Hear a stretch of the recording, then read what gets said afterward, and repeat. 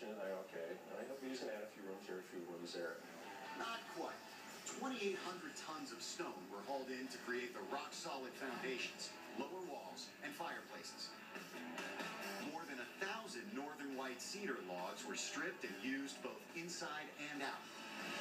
The walls are more than two feet thick and safeguard a total of eight bedrooms and ten baths, each more distinctive than the last. There's even a bunk room that will sleep up to ten. The original log cabin became the attached master suite.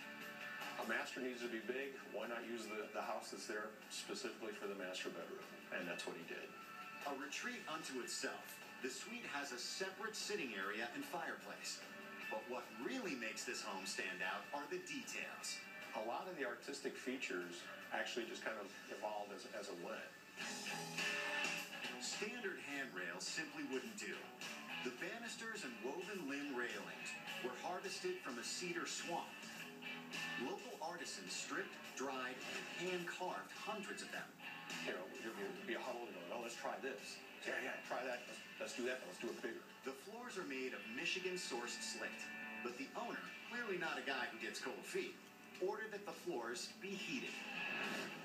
The clients want that warm and fuzzy feel of an old-fashioned log cabin, but they demand today's technology to go with it.